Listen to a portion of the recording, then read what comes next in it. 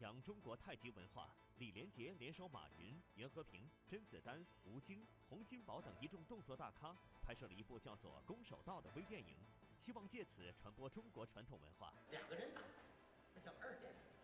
我和马云先生在擂台上直径三米，谁把谁打下去？出演《攻守道》的演员阵容如此强大，不过大家这次都是零片酬出演。我觉得非常感恩他们，比如说为了这个梦想，袁和平导演自己在拍着戏，停下来，一天损失七十万，停两三天过来来拍这个梦想。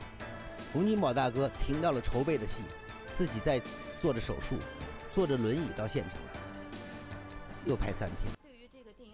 每个人的排位是有什么特别的讲究吗？如今他有自己的事业规划，终有一天，随着中国的国力和中国的经济各方面的影响力，中国一定不是中国人在想，全世界都在等待，中国一定有一个文化产业，一个体育产业是全世界流行的。